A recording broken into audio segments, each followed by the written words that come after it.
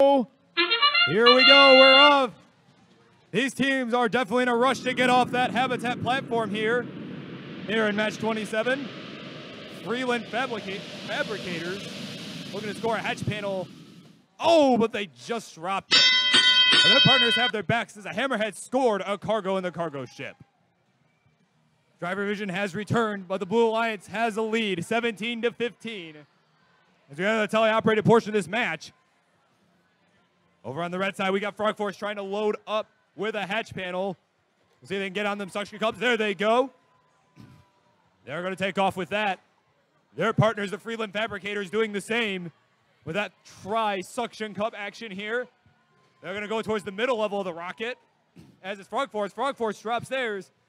Fabricators have their backs, though. We'll see if they can get theirs on. Yes. Two points for the Red Alliance.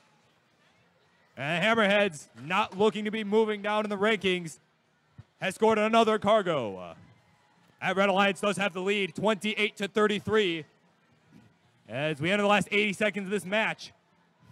Over on the Blue Alliance, we've got the Techno Dogs working with that dirty swerve, trying to score some threes in the cargo ship. They've got a cargo in hand, up and in. Their partners right behind them, 68. Trucktown Thunder that just barely goes in for another three points.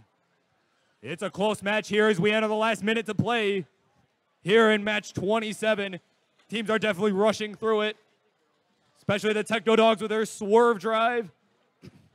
They've got a cargo in hand. It's up, it's in. Nudged up and in. But not to be outdone, the Hammerheads got one as well. Their partners 503 working some cargo from the human player zone. They're going to go work the far side Red Alliance rocket. As we enter the last 30 seconds to play here, still a tight game, 39 to 46 in favor of the Red Alliance.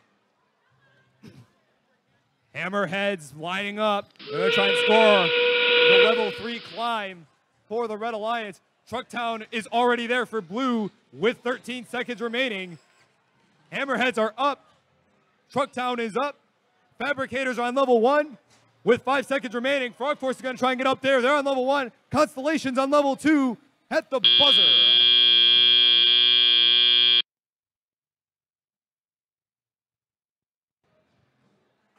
And the Techno Dogs roll off at the end, but the Red Alliance looked like they had a solid lead going into the end game.